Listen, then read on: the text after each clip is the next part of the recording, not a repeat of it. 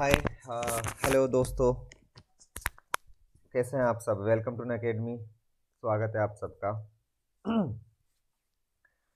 उम्मीद है सब अच्छे होंगे। उम्मीद है सब अच्छे होंगे। यूट्यूब के चैनल पे Unacademy R P S C live पे सबका स्वागत है, सबका। क्या पढ़ने वाले हैं आज हम? क्या पढ़ने वाले आज हम? आज हम पढ़ेंगे अपना बायोलॉजी का नेक्स्ट चैप्टर जिसमें हम बात करेंगे सेल्स की, यानी कि कोशिकाओं की। यानी कि कोशिकाओं की। ठीक है? हम्म तो जो भी आपके सवाल हैं, आप लोग मुझसे पूछते रहिएगा। उम्मीद है सब मस्त चल रहा होगा। हैप्पी होली सबको सबको मेरी तरफ़ से। होली की बहुत बहुत शुभकामनाएँ।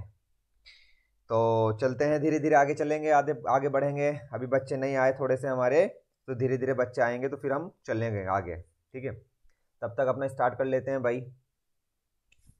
मैं थोड़ा सा अपने बारे में बता दूँ, आप लोगों को मास्टर्स पूरा किया था, चार साल से polity, economics, history science, general science, ये सब पढ़ा रहा हूँ मैं, ठीक है? यूपीएससी के लिए पढ़ाता हूँ, आरपीएससी के लिए पढ़ाता हूँ। दस हज़ार से ज़्यादा बच्चों को पढ़ा चुका हूँ। मुझसे जुड़ने के लिए क्या करना है, ये हमारा एक रिचुअल है कि मेरी क्लास दस बजे होगी, ठीक है? मुझसे जुड़ने के लिए आपको मेरा कोड यूज़ करना है, और कोड यूज़ कैसे करना उसके बारे में भी मैं आपको बताने वाला हूँ, ठीक है? और कैसे हैं आप सब? सबसे पहला सवाल तो यही है कि आप लोग कैसे हैं? क्या सोचते हैं? मतलब साइंस की क्लास कैसी होनी चाहिए? साइंस की क्लास कैसी होनी चाहिए? क्या सोचते हैं आप इसके बारे में? ये सबसे बड़ा सवाल है। आपके हिसाब से क्लास चलनी चाहिए। आपके तरीके से क्लास चलनी चाहिए। तो ये ज़रूरी है कि आप बताएँ कि क्लास कैसी हो। क्लास में ये इंटरेस्ट हो। Good morning, everyone. Good morning, happy Holi. सबको गुड मॉर्निंग। सबको गुड मॉर्निंग। मुकेश जी, आपको भी गुड मॉर्निंग। शेखावत जी, आपको भी good morning. Happy Holi. Happy Holi M नहीं, बात ये है कि हमारे कुछ बच्चे हैं, वो बोले कि, सर डिस्कशन होना चाहिए। डिस्कशन होना चाहिए। तो हमने फिर कोशिश करी है कि हम डिस्कशन के हिसाब से क्लास लेके चलेंगे, ठीक है? एम रखेंगे हर संडे मतलब जितना भी हम पढ़ेंगे, उसका रिवीजन और उसके एम सी क्यूज़ पचास एम सी क्यूज़ चालीस एम एम सी क्यूज जितने भी हो सकते हैं मैक्सिमम वो संडे में कवर करेंगे हम। तो ऐसा हमने प्लान बनाया है, ऐसा हमने प्लान बनाया है, ठीक है? डिस्कशन के हिसाब से चलेंगे, ठीक है? तो आज हमारा पहला डिस्कशन होगा, जिसमें हम पढ़ेंगे सेल्स इंट्रोडक्शन यानी कि कोशिकाएँ, यानी कि कोशिकाएँ। बहुत बढ़िया तरीके से समझने की कोशिश करेंगे, बहुत अच्छे से समझेंगे कि ये है क्या चीज़, ये है क्या चीज़ डिस्कशन ठीक है? सेल्स की बात करेंगे हम, ठीक है भाई? तो स्टार्ट करते हैं स्टार्ट करते हैं। स्टार्ट करने से पहले आपको थोड़ा सा मैं बता दूँ, अन अकेडमी सब्सक्रिप्शन के बारे में, जहाँ पर आपको लाइव क्लास मिलती है टेस्ट सीरीज़ मिलती है क्विज मिलते हैं डाउट क्लियरिंग सेशन मिलते हैं, ठीक है? आप लोग बस एक काम क्या करें कि जो अन अकेडमी की ऐप है, हमारी और क्लासेस भी होती हैं, जैसे ग्यारह बजे पॉलिटी की क्लास होती है भाई, ठीक है? आठ बजे शाम को हिस्ट्री की क्लास होती है हिस्ट्री वाली, ये फ्री है अभी, ये सबके लिए, आप सब लोग आया करें और सवा नौ बजे हम क्वेश्चन डिस्कस करते हैं पॉलिटी के हिस्ट्री के आज, आ, हमारे करंट अफेयर के। तो आप लोग इसमें भी आया करें। अपकमिंग कोर्स बहुत सारे आने वाले हैं टेस्ट सीरीज़ मिलेगी। अगर हम एक आइडिया लगाएँ तो सिर्फ़ सत्रह रुपये पर डे के हिसाब से आप अपनी तैयारी आप अपना एग्ज़ाम निकाल सकते हैं। ठीक है? घर बैठे पढ़ने का मौका मिलता है अन अकेडमी सबसे ज़बरदस्त यही बात है कि आप कहीं भी रहें आप बिज़ी रहें रिकॉर्डेड वीडियो देखें कहीं भी शादी हो भाई हो कोई भी हो आप घर से पढ़ सकते हैं, ठीक है? और सब्सक्रिप्शन भी बहुत सस्ता है, मैंने बताया अभी, पाँच सौ पच्चीस रुपये पर मंथ बात्र जिसमें आप मतलब टेन परसेंट डिस्काउंट के बाद आपको पाँच सौ पच्चीस रुपये पर मंथ मिलेगा। चलिए स्टार्ट करते हैं क्लास को अपनी। मुझसे जुड़ने के लिए क्या करना है, वो आपको पता चल गया होगा, ठीक है? सबसे पहले बात करेंगे स्ट्रक्चर एंड फ़ंक्शन यानी कि कोशिकाएँ की सबसे बेसिक मैप से समझने की कोशिश करेंगे भाई, ठीक है? एक बार इस मैप को देखने की कोशिश करें भाई सब लोग। एक बार इस मैप को देखें, ये मैप है क्या?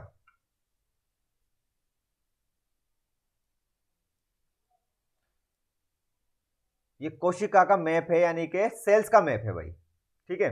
तो अब हमें इसे ही समझना है कि ये इसे क्या बोलते हैं भाई इसे? इसे क्या बोलते हैं? ठीक है? इसे क्या बोलते हैं? ये अंदर क्या है इसके? ये सब चीज़ क्या है? और ये क्या भरा हुआ होता है? इसी को समझने की कोशिश करेंगे आज की क्लास में हम, ठीक है?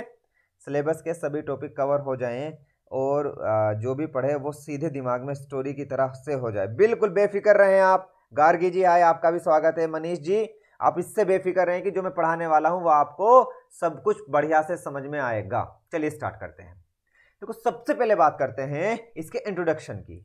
इंट्रोडक्शन क्या है?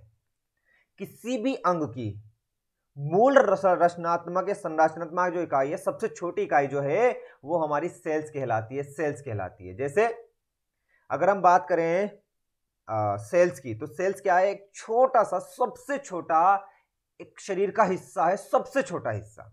ये मल्टीपल सेल्स मिलके टिश्यूज बनाएँगे मल्टीपल टिश्यूज मिलके मल्टीपल सेल्स मिलके टिश्यूज बनाएँगे और यही टिश्यूज मिलके फिर अंग बनाएँगे अंग बनाएँगे। अब आप समझ सकते हैं कि इंसान की या किसी भी जीव की सबसे छोटी इकाई को हम कोशिका बोलते हैं। सबसे पहले कोशिका की खोज 1665 में की गई थी, रॉबर्ट हुक ने की थी, और इसकी जो पढ़ाई, जब हम कोशिका क्या डिस्कशन करता है, कोशिका को पढ़ते हैं, उसे साइटोलॉजी बोलते हैं, साइटोलॉजी। ये क्वेश्चन पूछा गया है। ये वाला क्वेश्चन पूछा गया, ये क्वेश्चन पूछा गया, ये भी क्वेश्चन पूछा गया है।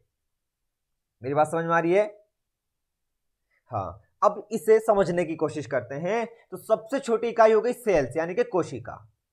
बहुत सारी कोशिकाएँ मिलके उत्तक बनाते हैं, उत्तक, टिश्यूज बनाते हैं। जैसे आपका स्किन का टिश्यूज है, ठीक है? जैसे आपके स्किन गाल के टिश्यूज हैं, ये सारे मिलके टिश्यूज बनाते हैं। ये टिश्यूज जब बहुत सारे मिल जाते हैं तो ऑर्गन्स बनाते हैं, हिस्सा बनाते हैं, यानी कि अंग बनाते हैं, शरीर के अंग को। ये सारे अंग मिलके ऑर्गन सिस्टम बनाते हैं, जैसे नर्वस सिस्टम जैसे डाइजेस्टिव सिस्टम, और ये सारे सिस्टम मिलके पूरे मानव शरीर की रचना करते हैं। एक इंसान बनाते हैं, जीता जागता इंसान। तो मेरी बात समझ में आई इतनी बिल्कुल क्लियर रखिएगा। सेल्स सबसे छोटी होती है। सेल्स ज़्यादा बहुत सारी सेल्स मिलकर टिश्यूज बनाते हैं। यही टिश्यूज जब बहुत सारे हो जाते हैं, ऑर्गन्स बनाते हैं और ऑर्गन्स मिलके सिस्टम कंप्लीट जनरेट करते हैं और यही बहुत सारे सिस्टम मिलके नर्वस सिस्टम डाइजेस्टिव सिस्टम उसके बाद हमारे अंदर मतलब हार्ट वाला सिस्टम ये सारे मिलके फिर ऑर्गेनिज्म बनाते हैं, यानी कि इंसान को जन्म देते हैं। तो क्या समझ में आया हमें? सबसे छोटी मानव शरीर की जो इकाई है, वो कोशिका है। बिना कोशिका के उसके शरीर का निर्माण नहीं हो सकता। चलिए, इतना हमने समझ लिया। अगले समझने के बाद क्या देखते हैं हम? जो कोशिका है, यानी कि जो ये कोशिका है, ये खुद एक जीव है, ये जीवित है।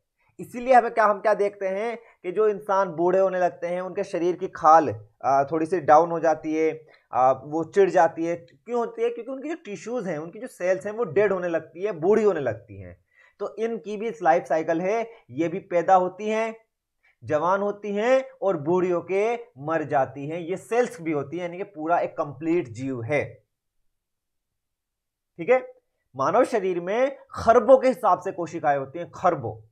हाथ की कोशिकाएँ अलग हैं, पैर की कोशिकाएँ अलग हैं, दिमाग, हमारे जो मतलब मसल्स की कोशिकाएँ अलग हैं गाल की कोशिकाएँ, आँख की कोशिकाएँ, जीभ की कोशिकाएँ, ये सब अलग अलग होती हैं, जो आकार में भी अलग हो सकती हैं और स्ट्रक्चर में भी अलग हो सकती है, इनका शेप भी अलग होगा और साइज़ भी अलग होगा।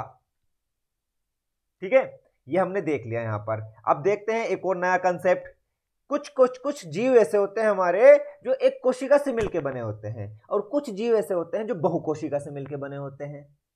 ये बढ़िया, जब बड़ा इंटरेस्टिंग सा एकदम।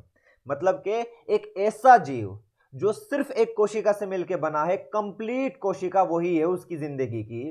उसे एक कोशी के जीव बोला जाता है और जो बहुकोशीय जीव होते हैं, उन्हें, जिसमें बहुत सारी हमारे कोशिकाएँ मिलती हैं, जैसे इंसान हुआ और जानवर हुए, जैसे पक्षी हुए, उसमें बहुकोशीय होती हैं, बहुत सारी, उसे बहुकोशीय जीव बोला जाता है। एग्ज़ाम्पल देखते हैं, एक कोशिका का अमीबा। अमीबा। इस अमीबा के मैप को देखने की स्ट्रक्चर को देखने की कोशिश करें, आपको ये समझ आएगा कि ये मैप है क्या। देखें भाई। ये अमीबा, ये जो अमीबा है हमारा, ये क्या है? ये एक कोशिका जीव है, यानी कि इसमें मल्टीपल कोशिकाएँ नहीं है सिंगल कोशिका ने मिलकर कंप्लीट बनाया है। बेनिफिट यह क्या होगा इसका? कि एक कोशिका जीव है तो ये सारे काम करेगा जो बहुकोशीय जीव करता है। और सिंगल है तो इसका कोई निश्चित आकार नहीं है, ये अपना आकार बदलता रहेगा। अपना जो ये जो कोशिका है, जब सिंगल टिश्यू हमारा सिंगल सेल्स हो गई तो ये किसी भी तरीके से अपना आकार बदल देगा चौड़ा हो जाएगा, बड़ा हो जाएगा, छोटा हो जाएगा, ये अमीबा की खासियत है कि इसका कोई भी निश्चित आकार नहीं है। अमीबा का। बात समझ में आई भाई? Good morning Asha ji, good morning Asha ji. ठीक है? आगे देखते हैं, अमीबा के बारे में पूरा सा और देख लेते क्योंकि अमीबा से क्वेश्चन पूछा जाता है। अमीबा में स्यूडोपोडिया जिसका अर्थ है स्यूडो का अर्थ है असत्य पोडिया का अर्थ है पेड़ मतलब इसके पैर नहीं होते। अब पेड़ नहीं होते पेड़ से क्या मतलब है यहाँ पर? इसका कोई साइज़ नहीं है। इसका कोई फिक्स स्ट्रक्चर नहीं है। ये जिस टाइप में बदलना चाहे, उस टाइप में बदल सकती है। उसके बाद अमीबा एक स्वतंत्र अस्थि में सक्षम, एक पूर्ण विकसित प्राणी है। मतलब कंप्लीट है ये भी। भले ही एक कोशिका हो उससे फ़र्क नहीं पड़ता, लेकिन कंप्लीट जीव है। कोशिकाओं का आकार सामान्य रूप से गोल होता है। बिल्कुल, ये जो कोशिकाएँ हैं हमारी, ये लगभग गोल जैसी होती हैं।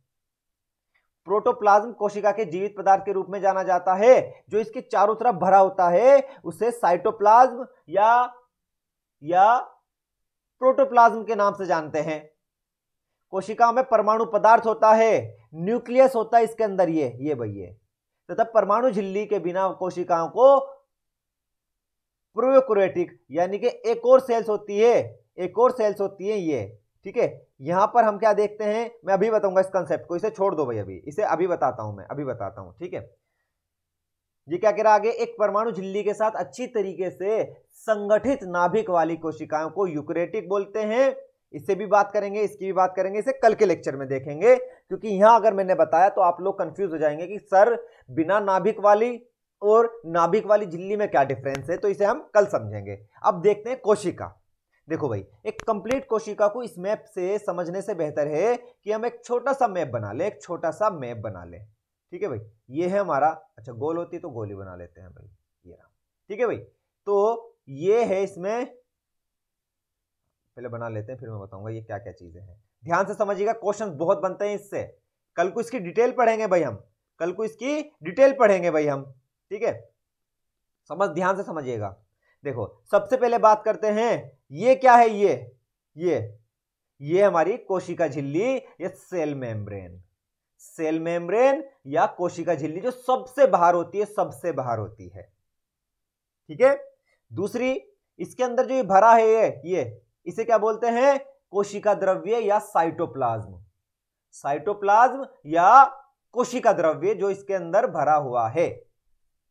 उसके बाद ये ये हो गई नाभिक झिल्ली नाभिक झिल्ली, और इसके अंदर जो है, ये है नाभिक यानी कि न्यूक्लियस। यानी कि न्यूक्लियस ये कंप्लीट सेल है। अभी इसके अंदर और और जो सामान होते हैं, उन्हें हम आगे चल के देखेंगे। ठीक है? इतना हमने क्या देखा कि एक सेल में बेसिकली साइटोप्लाज्म होता है सेल मेम्ब्रेन होती है न्यूक्लियस मेम्ब्रेन होती है और न्यूक्लियस होता है। बस अभी इसके अलावा हमें कुछ भी नहीं जानना आज के लेक्चर के लिए, आज के लेक्चर के लिए। ठीक है? चलते हैं आगे आगे चलते हैं। देखते हैं भाई। कोशिका का मूल भाग, कोशिका झिल्ली या कोशिका द्रव्य नाभिक होते हैं। बिल्कुल ये बताया मैंने अभी अभी बताया बिल्कुल। यानी कि इसका मुख्य भाग जो है, ये मुख्य भाग है, ये मुख्य भाग है और ये मुख्य भाग है। कोशिका झिल्ली को प्लाज्म झिल्ली के रूप में भी जाना जाता है। बिल्कुल बताया मैंने ये। जो कोशिका झिल्ली है, इसे प्लाज्म झिल्ली के नाम से भी जाना जाता है। ये झरझरी टाइप की होती है। झरझरी से क्या मतलब है?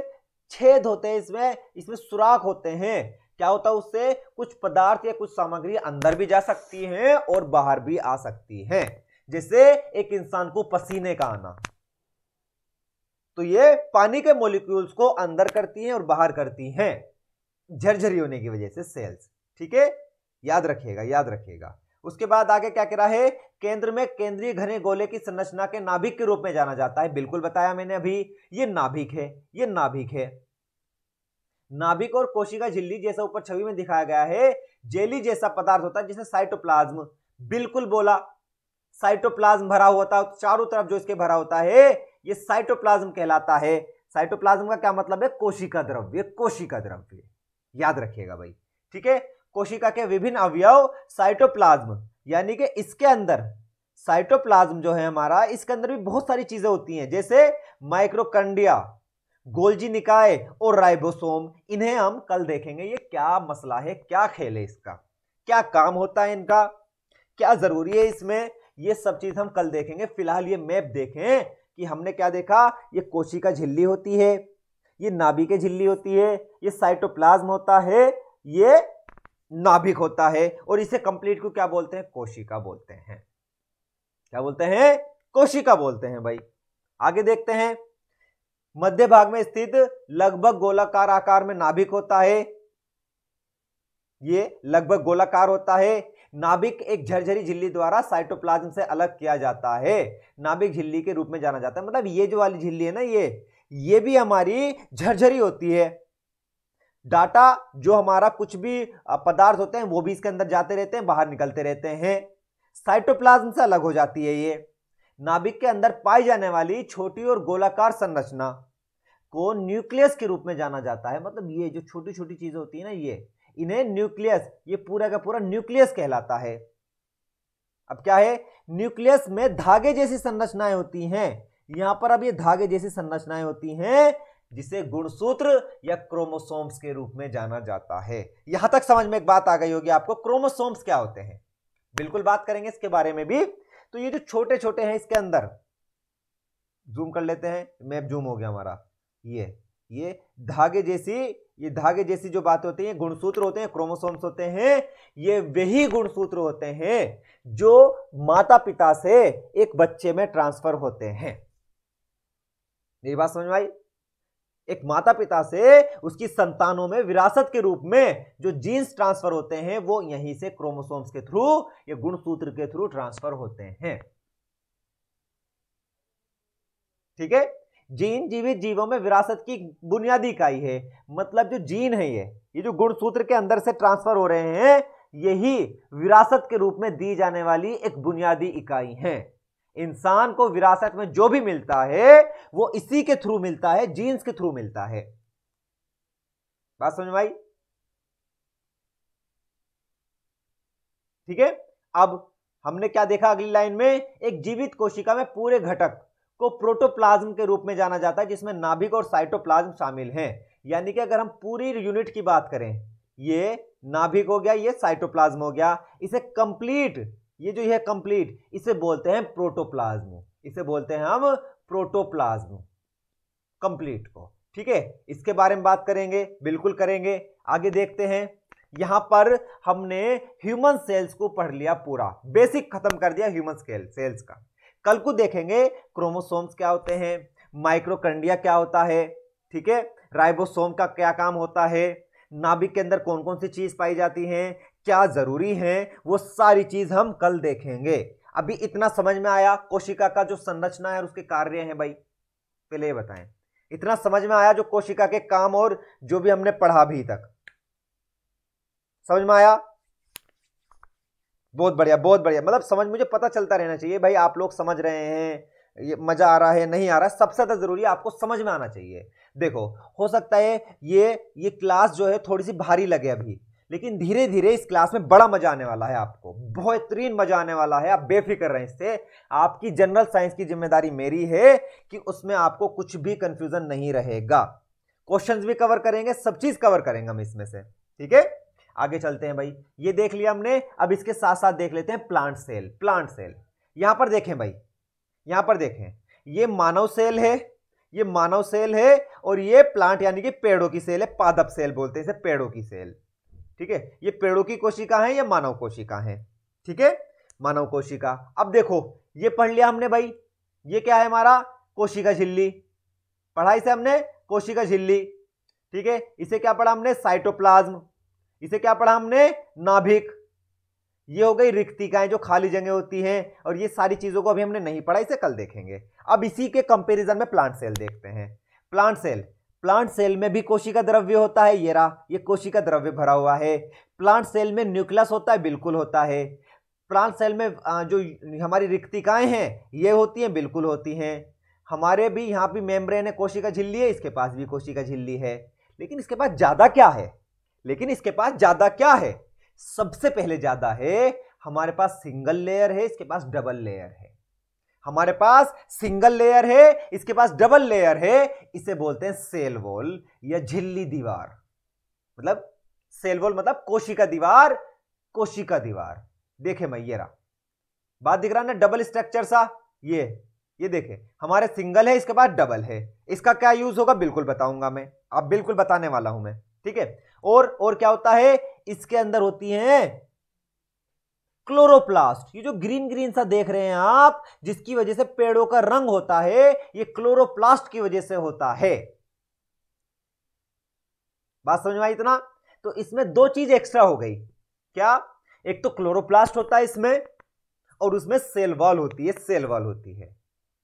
अब आपको यह बात पता चल गई होगी, जो पेड़ का बाहरी हिस्सा होता है, बाहरी हिस्सा होता है, वो टफ यानी कि लकड़ी जैसा क्यों होता है? वो इसकी वजह से होता है, ये मज़बूत बना देती है, मज़बूत बना देती है।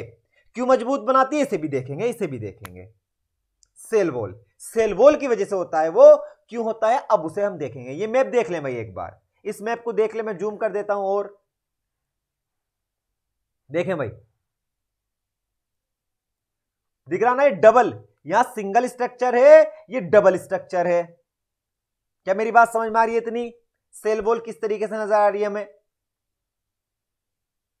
ठीक है, अब चलते हैं आगे आगे। कोशिका झिल्ली पौधों और जानवरों की कोशिका को आकार प्रदान करती है। बिल्कुल, ये जो झिल्ली है, सबसे ऊपर वाली, ये आकार प्रदान करती है पेड़ों को भी और जानवरों को भी। प्लांट सेल में सेल दीवार, सेल झिल्ली की अतिरिक्त आवरण होती है, यानी कि इस पर डबल स्ट्रक्चर चढ़ा होता है, डबल स्ट्रक्चर। ठीक है? एक पशु कोशिका में यह नहीं होती। बिल्कुल पढ़ लिया हमने। सेल्स की दीवार पौधे की कोशिकाओं को आकार और कठोरता देती है, कठोरता। अब पेड़ जो कठोर होता है, वो इसी वजह से होता है भाई। क्या मेरी बात समझ में आई? जो एक पेड़ कठोर होता है, वो इसी वजह से होता है। और क्या करती है, और क्या करती है? सेल्स की दीवार सुरक्षा प्रदान करती है। पौधों की कोशिकाओं को अलग अलग तापमान में, उच्च हवा की गति में इन सबसे सुरक्षा प्रदान करती है। अब आपको समझ में आ गया होगा कि जो सेल्स दीवार है, जो हमारी सेल वोल है, उसका क्या काम होता है। क्या इतनी बात समझ में आई सबको भाई? मेरे भाइयों, इतनी बात समझ में आ गई सबको बिल्कुल क्लियर एकदम। सेल वोल का क्या यूज़ है? क्लियर आ गया एकदम समझ में भाई? चलिए, आगे चलते हैं। भाई आंसर कर दिया करो यार, आप लोग आंसर करोगे तो मेरी हिम्मत बढ़ जाती है। देखो, आप आंसर नहीं करोगे तो पता नहीं चलेगा कि क्या समझ में आ रहा है, क्या नहीं आ रहा है। आप ध्यान से सुन रहे हैं, ध्यान से देख रहे हैं नहीं देख रहे हैं, मुझे ये पता होना चाहिए कि आप लोग ध्यान से समझ रहे हैं। आप लोगों का ध्यान मेरी तरफ़ है तो सब लोग कमेंट में आंसर करके बता दिया करें। और दूसरा, भाई से शेयर ज़रूर कीजिएगा। सब लोग ये सबकी रेस्पॉन्सिबिलिटी है कि आप लोग इसे शेयर कीजिएगा अपने दोस्तों से व्हाट्सएप ग्रुप में, हर इंसान से ताकि वो यहाँ तक पहुँच सके। डेली क्लास होगी हमारी दस बजे। डेली क्लास होगी दस बजे, बेफिक्र रहे इससे। आगे चलते हैं भाई। क्या कह रहा है? बैक्टीरियल सेल जो बैक्टीरिया की कोशिकाएँ होती है, उसमें भी सेल दीवार होती है, उसमें भी सेल दीवार होती है। ठीक है? उसे भी देखेंगे। अधिकांश कोशिकाएँ आकार में सूक्ष्म होती हैं और नग्न आँखों से दिखाई नहीं देती। जो कोशिका है, बहुत छोटी होती है। इन्हें जनरली आँखों से देखना पॉसिबल नहीं है। तो ये नंगी आँखों से नहीं दिखाई देती। सबसे छोटी कोशिका बैक्टीरिया में पाई जाती हैं, जो 0.10 से लेके 0.5 माइक्रोमीटर तक होती हैं। क्या ये नंगी आँखों से देखना पॉसिबल है? बिल्कुल नहीं देखी जा सकती इसलिए। तो सबसे छोटी कोशिका बैक्टीरिया की होती है। अब आप मुझे कमेंट में यह बताइएगा कि सबसे बड़ी कोशिका किसमें पाई जाती है? सबसे छोटी बैक्टीरिया में होती है, बिल्कुल पता है सबको। सबसे बड़ी कोशिका किसमें होती है भाई? सबसे बड़ी कोशिका किसमें होती है? जल्दी आंसर करेंगे सब लोग भाई।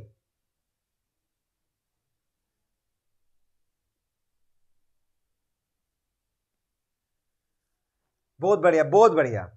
शुतुरमुर्ग के अंडे में, शुतुरमुर्ग के अंडे में, शुतुरमुर्ग के अंडे में पाई जाने वाली सबसे बड़ी सेल का आकार 170 मीटर मिमी से लेके 130 मिमी तक होता है, शुतुरमुर्ग के अंडे में। बहुत बढ़िया बहुत बढ़िया भाई। ठीक है? कोशिकाओं का आकार, हालाँकि कोशिकाओं का जो आकार है, वो जानवर या पौधे के आकार से कोई संबंध नहीं है। मतलब एक मानव शरीर में कोशिका बड़ी भी हो सकती है और छोटी भी हो सकती है। मेरी बात समझ में आ रही है?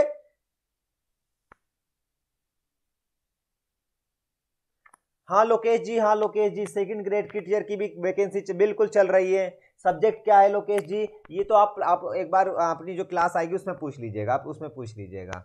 बिल बिल्कुल चल रही है और जो ये क्लास हम कवर कर रहे हैं ना ये ये मैथमेटिक्स और साइंस वालों के लिए स्पेशल है भाई।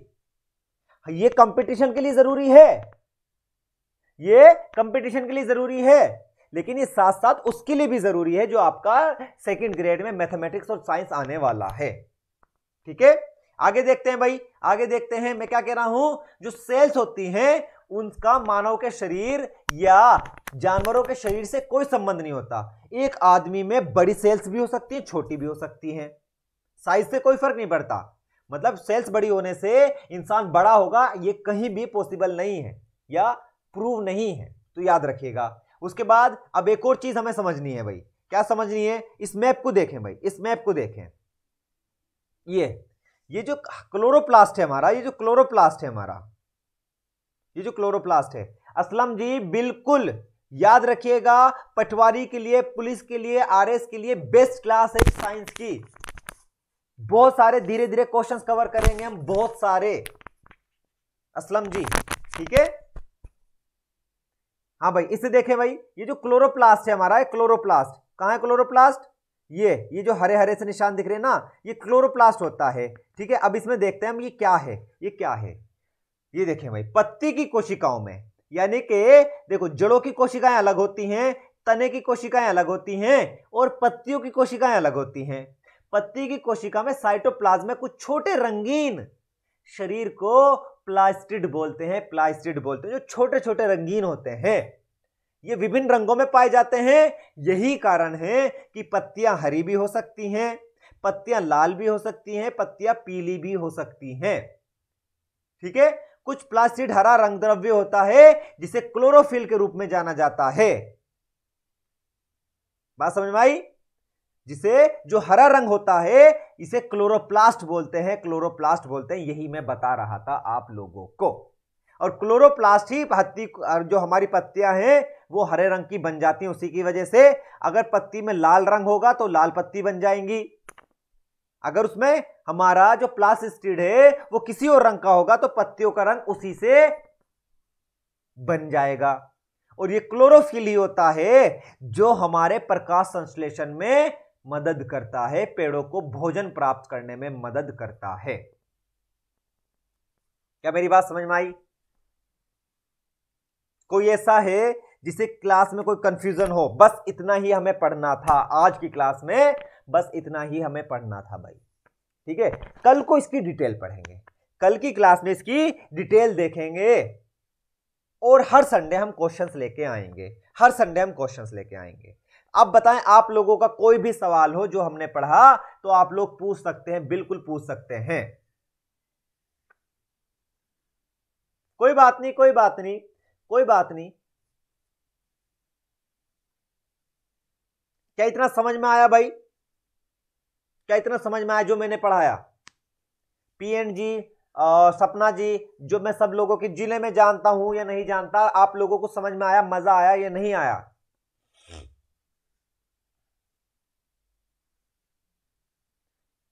मज़ा आया। उम्मीद है कि सबको क्लास अच्छी लगी होगी और आप लोगों को क्या करना है? बस इस क्लास को एक तो जिन लोगों ने अभी सब्सक्राइब नहीं किया, वो सब्सक्राइब ज़रूर कर लीजिएगा भाई। जिन लोगों ने घंटा नहीं बजाया, बजा लीजिएगा। बहुत ज़रूरी है आपको नोटिफिकेशन मिल जाया करेगा। लाइक और शेयर ज़रूर कमेंट करके बताइएगा कि वीडियो कैसी लगी। शेयर ज़रूर कीजिएगा अपने दोस्तों से और लाइक करना कोई मत भूलिएगा। इसकी पीडीएफ आप डिस्क्रिप्शन से डाउनलोड कर सकते हैं। इसकी पीडीएफ आपको डिस्क्रिप्शन से मिल जाएगी। ठीक है? मेरी बात समझ में आई भाई? चलिए, बस क्लास यहीं रोकते हैं। आप लोगों का बहुत बहुत धन्यवाद। 11 बजे, जो हमारे प्लस वाले बच्चे हैं, अभी उनसे 11 बजे मिलते हैं हम। पॉलिटी की क्लास में आप लोग मुस्कुराते रहें, पढ़ते रहें, बढ़ते रहें और अच्छा करें अपनी लाइफ में। ठीक है? मुझसे जुड़ने के लिए आप मेरा कोड यूज़ कर सकते हैं प्लस में आने के लिए जहाँ पर आपको ज़बरदस्त क्लास मिलेंगी। पॉलिटी की हिस्ट्री की बढ़िया क्लास मिलेंगी। तो इसका भी ध्यान रखना आप लोगों को, मुझे अगर सपोर्ट करना चाहते हैं चलिए क्लास खत्म करते हैं। बहुत बहुत धन्यवाद। खुश रहें, होली मनाएँ अच्छे से और अच्छा करें अपनी लाइफ में भाई। धन्यवाद आप लोगों का भाई।